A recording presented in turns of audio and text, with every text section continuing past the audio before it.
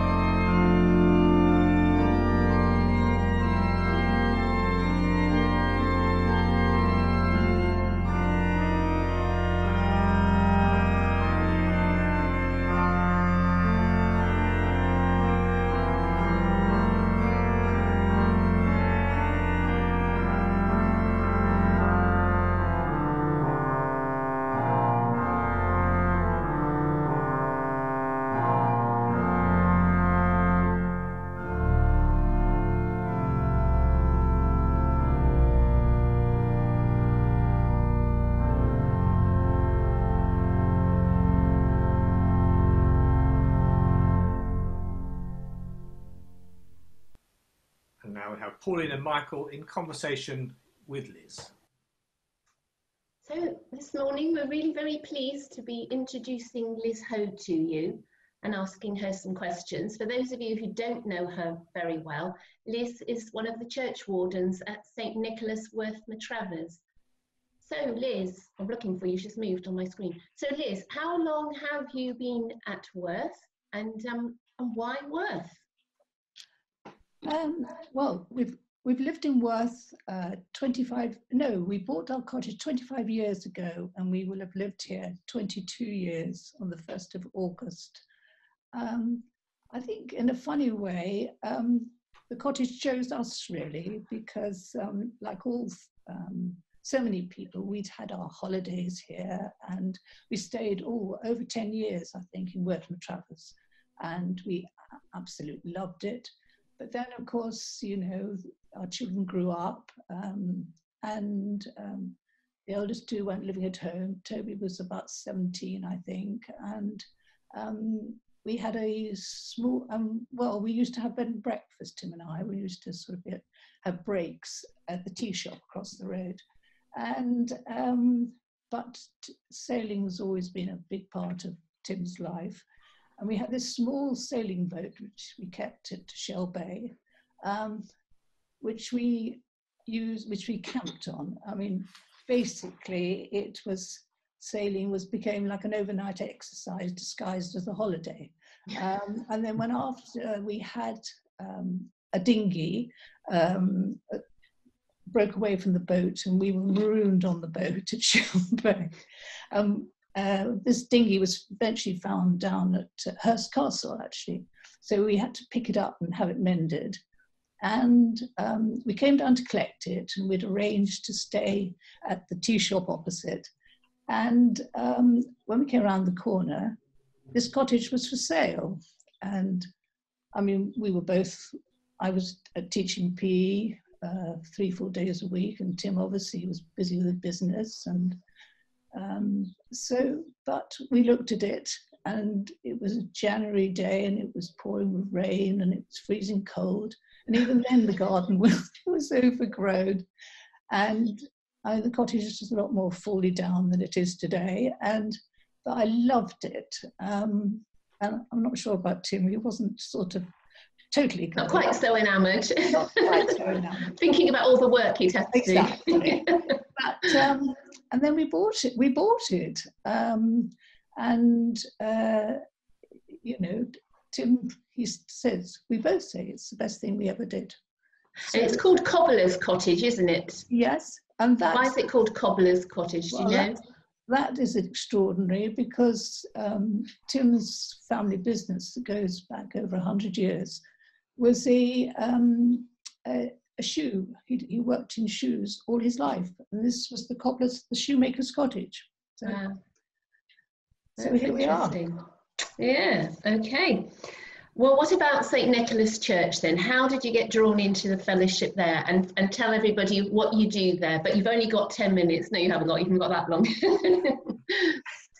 um, it was, it's extraordinary. I mean, the welcome at, at St. Nicholas was amazing, but I'd been brought up, um, I grew up as a child in Kent in a very small village um, with a church that was called St. Nicholas, and it was a Norman church. Um, and of course, it was lovely when we came here, and we had a tremendous welcome by everybody. Um, who um, and really, it was it was like coming home. But then, oh. um, but uh, and what do I do? I think what I try and do is share that Christian care that was shown to us, and oh, sorry, shown to all of us when we came here um, you know, by such lovely people as Brenda Nunn and Marion Holloway. And I hope that, you know, I, I, mm. I still continue to do that. But you don't only look after um, or, you know, get involved with St. Nicholas Church, do you? You also have to tromp along the path to oh, uh, oh, the chapel. Dear chapel, yeah, I love the chapel. I don't think my car does, and the guy who repairs it just yeah. doesn't like it either. But um, the chapel is beautiful and such a special place, and um, and I think you know to have you know to have that privilege to care for it. Um, well, you're a very hard-working church warden, Liz, and we're all very lucky to have you. So, turning to the question we ask most people, how have you and Tim managed with the lockdown arrangements? Well, I know you've, you've been at home isolating, haven't you both? Yes. So. I had to shield, not because I'm ill or anything, but I take a med- medication which is cocktailed with my age, put me into the shielding list. um, so here I've been for 16 weeks, but um, you, you, know, it's what a lovely place to live in. And we are very lucky because we have lots of space, so therefore we've been able to walk. Um, mm-hmm. And in the garden, we've lived, I've lived outside, we both lived outside. I mean, it has, and the weather's been amazing. So, mm-hmm. and lots of lovely friends around. And incredible deliveries from Swanage. I mean, that's what we've had. And mm. lovely friends, you know, who've helped us out. Anyone who's seen your garden will know it's it's truly beautiful. So the fact that you've had extra time to be in your garden, it must be absolutely magnificent at the moment. well, I don't think it's magnificent, but it's a bit, been a very special time. It's a very very lovely garden. So any positive thoughts or experiences then to share from from the pandemic situation? Uh, shielding was a, was a terrible blow because as a mm. church warden, I thought I should be helping everybody, you, you, know, and it did, and it's made me feel guilty. But um, you know, because of so many people that needed help during during that time. Mm. But um, I think it's with walking and gardening, it makes you. It's made me, you know, be still and and to think that's you know what does God, you know, want for you, and also to, and to pray more. Mm. You know, I mean, mm. you know, we we haven't got the answers, but we can pray, and we can pray for help. Yeah. Oh, thank you, Liz. Liz hasn't mentioned another very, very important thing she does. She's custodian of the ducks in Worth as well, aren't you? Well, they're our neighbours actually. They live over. Yes, they live next door. Yes.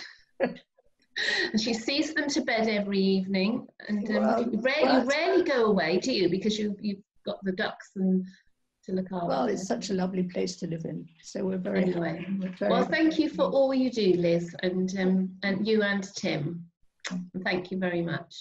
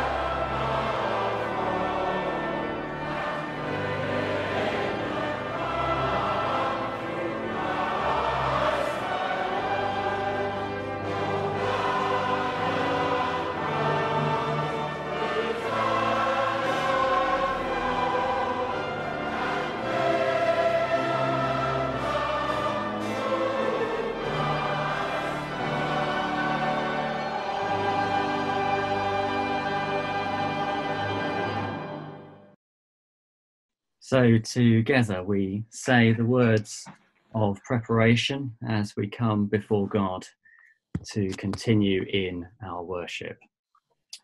Hallelujah. Christ is risen. He is risen indeed. Hallelujah. The night has passed and the day lies open before us. Let us pray with one heart and mind.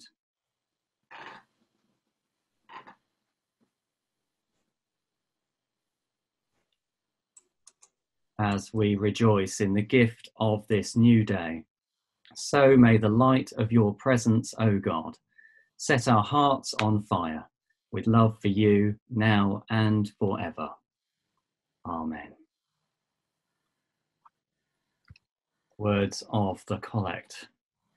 Almighty and everlasting God, by whose Spirit the whole body of the Church is governed and sanctified hear our prayer, which we offer for all your faithful people, that in their vocation and ministry they may serve you in holiness and truth to the glory of your name, through our Lord and Saviour Jesus Christ, who is alive and reigns with you in the unity of the Holy Spirit, one God, now and forever.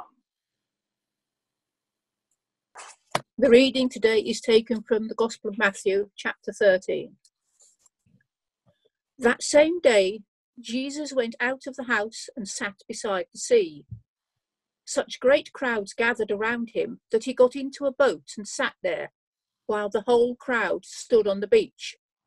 And he told them many things in parables, saying, Listen, a sower went out to sow, and as he sowed, some seeds fell on the path, and the birds came and ate them up. Other seeds fell on rocky ground, where they did not have much soil, and they sprang up quickly since they had no depth of soil. But when the sun rose, they were scorched. And since they had no root, they withered away. Other seeds fell among thorns, and the thorns grew up and choked them.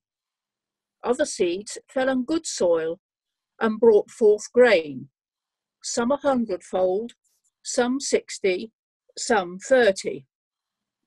Let anyone with ears listen.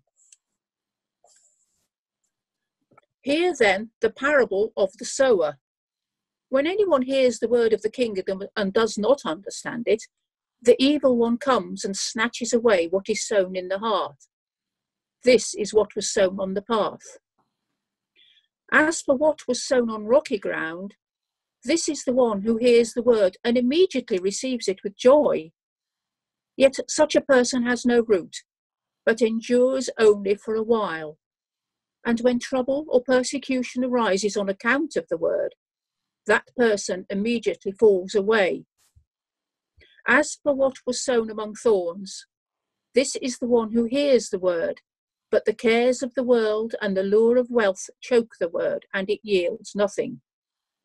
But as for what was sown on good soil, this is the one who hears the word and understands it, who indeed bears fruit and yields, in one case a hundredfold, in another sixty, and in another thirty.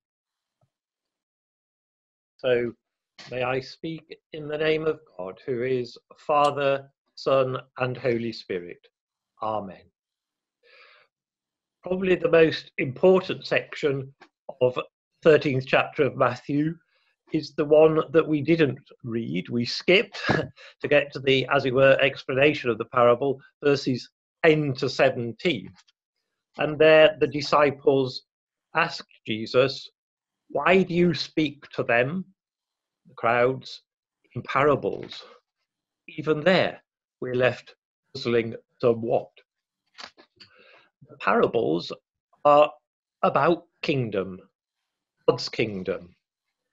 Inevitably, the word kingdom means we start thinking most of the time of things like power and defense, defense capability, perhaps, uh, laws, law and order, crime and justice, all those sort of things. Jesus clearly wants us to think differently. And I think I find it, and I'm sure it may be for you, really hard for the word kingdom to mean God's meaning rather than our own. There is indeed an urgency about the kingdom. You can't ignore it. The parables Jesus tells are summoning us to, resp- to respond. However, almost as alongside that, almost as part of it, God gives us space, not least because he tells us about the kingdom in parables and several of them. Some very short, some like this one longer, some with a little more in, uh, interpretation from Jesus himself or um, furthered perhaps following reflection by first Christian. Um, so, and also several parables. Jesus isn't saying this one tells you the whole truth, uh, or it's this one, but together the message is there for us. Perhaps speaking to our God speaking to each of us in our own condition. So, you need space for the parables, space to think about them, space to reflect upon them. And uh, I found myself doing that through the past week.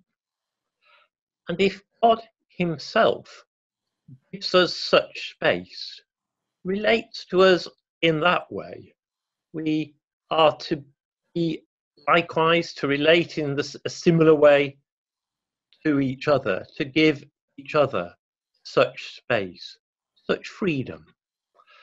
And perhaps that's one of the most valuable things we can do.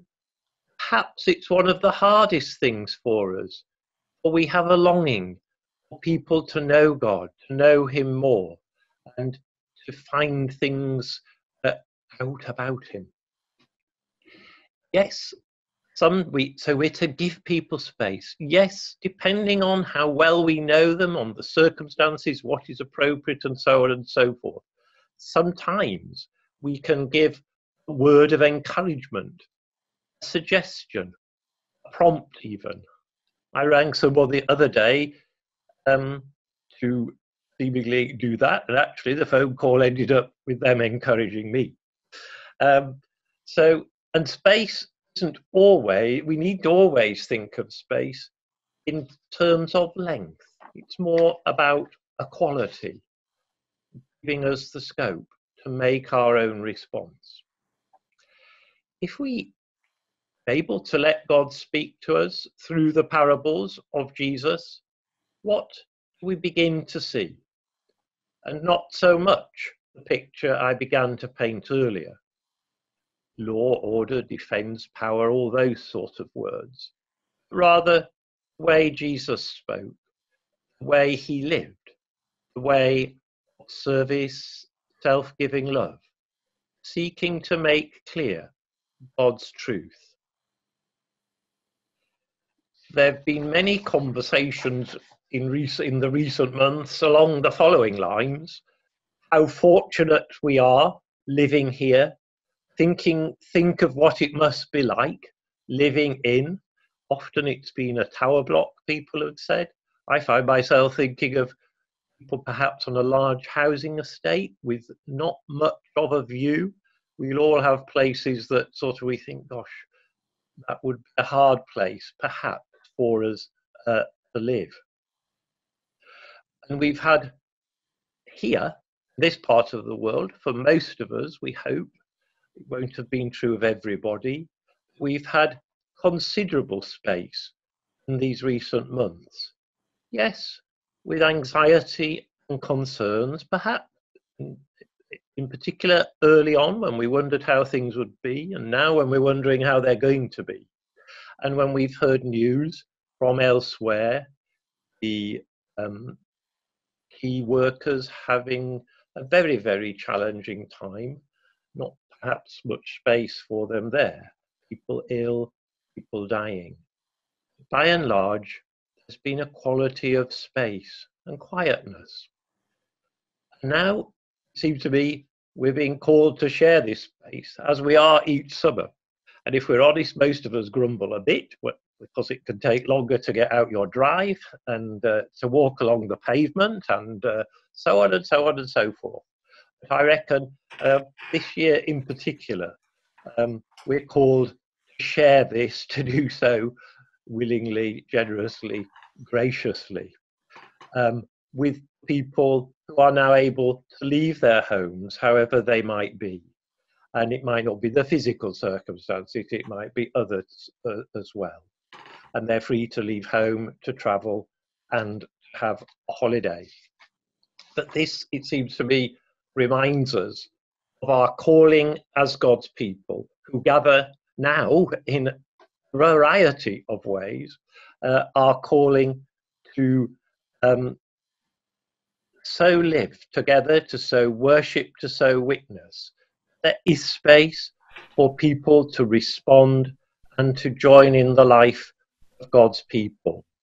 And I think um, all the um, interviews we've had at the beginning of our services, we've been reminded of how important that has been for people who've become part of the various fellowships.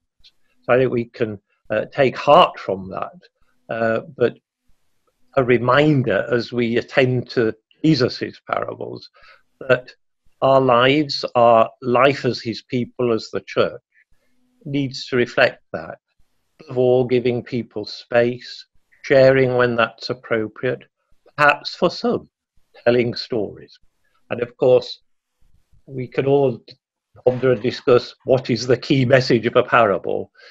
Certainly, a pretty clear message of this parable is that whatever the hindrances there are, um, he's not thwarted by them, and there is a harvest, and actually, indeed, an abundant harvest. Amen.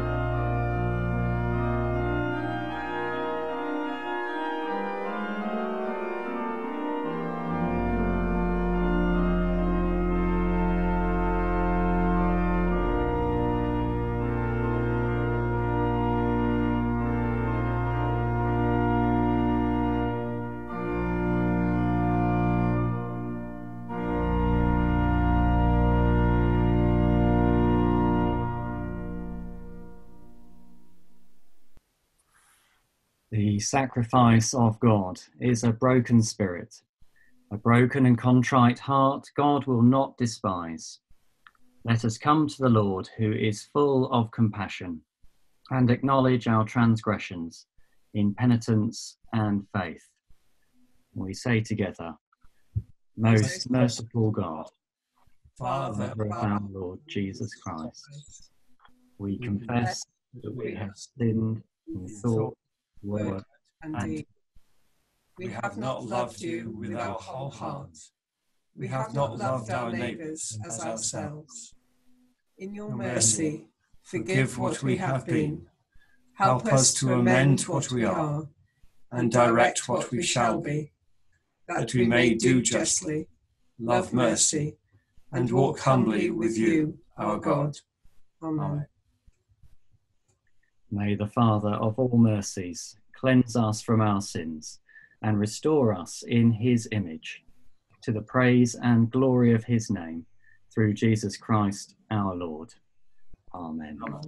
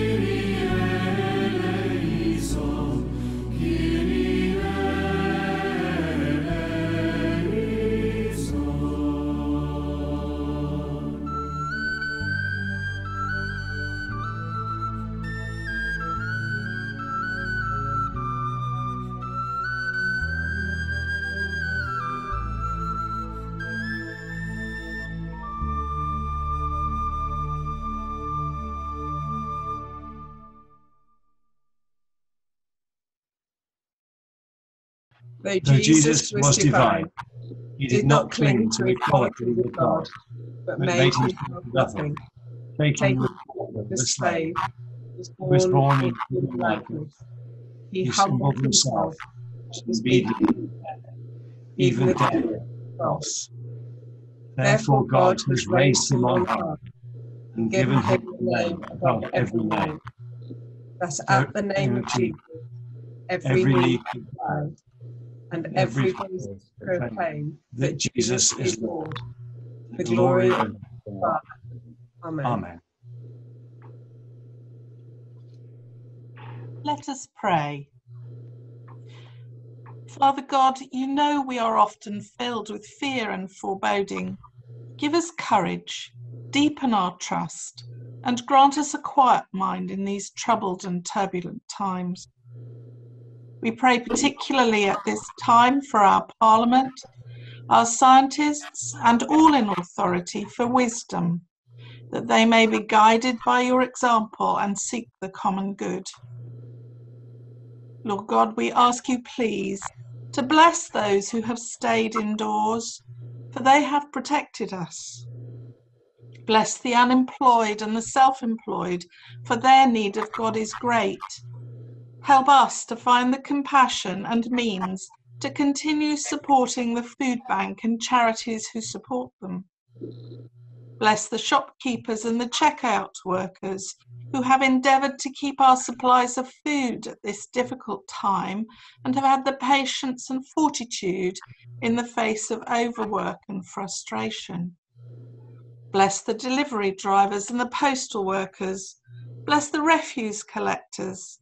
Bless the teachers, for they remain constant and steadfast in these disturbing times, caring for our children's education and well being.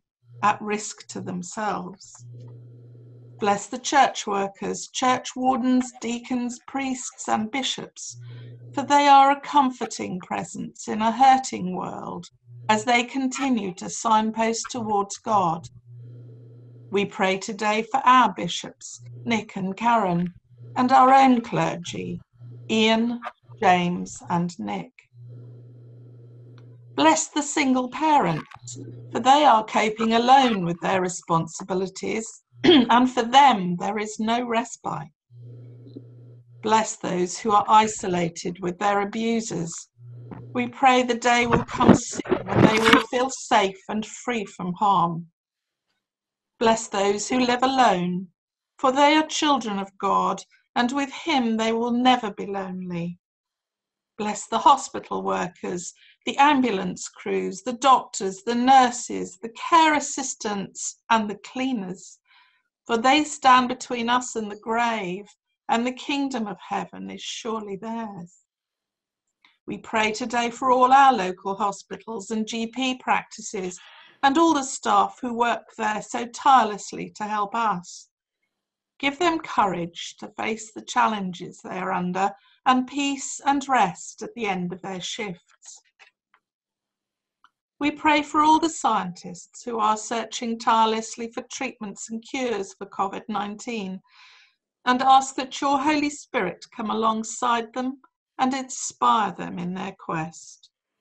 We remember those in our community and those known personally to us who are sick in body, mind, or spirit, thinking particularly of Jane, Rosemary, David, Trevor, Elizabeth, William, Kif, and Les.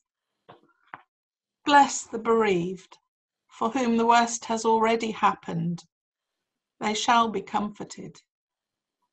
And we pray today for the friends and family of those who have died recently, thinking particularly of Brian and Philip. Lord, be alongside their friends and family, bring them comfort and ease their grief.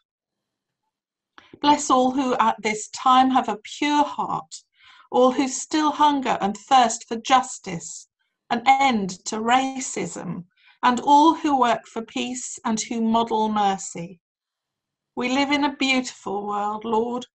Help us to remember that we are all stewards of it, and as we approach a new normal, that we find better ways to care for it than we have done before, and that nature finds a way to heal itself, just as we pray we will too.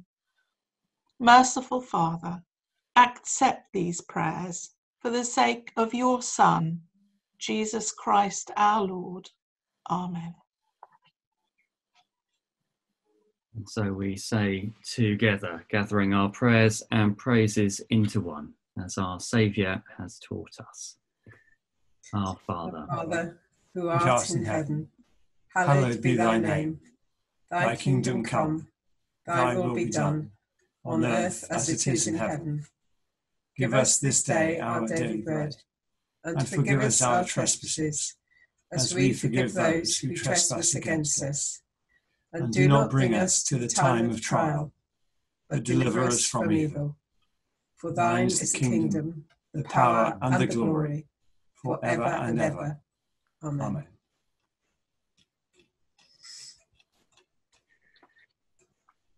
This is the good news. The grave is empty Christ is risen. Hallelujah. The light shines in the darkness, and the darkness can never put it out. Hallelujah. This is the good news. Once we were no people, now we are God's people. Hallelujah. Christ is our peace, the indestructible peace we now share with each other. The peace of the Lord be always with you. And also with you. I'll follow your lead as we offer one another a sign of the peace.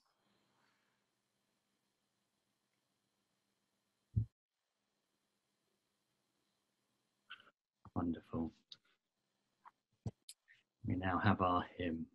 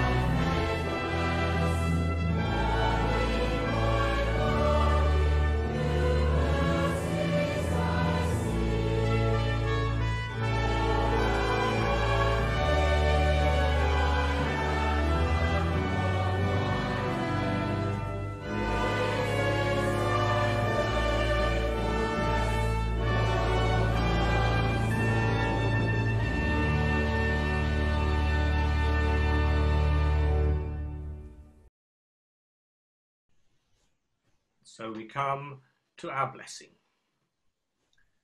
The peace of God, which passes all understanding, keep your hearts and minds in the knowledge and love of God and of his Son, Jesus Christ our Lord.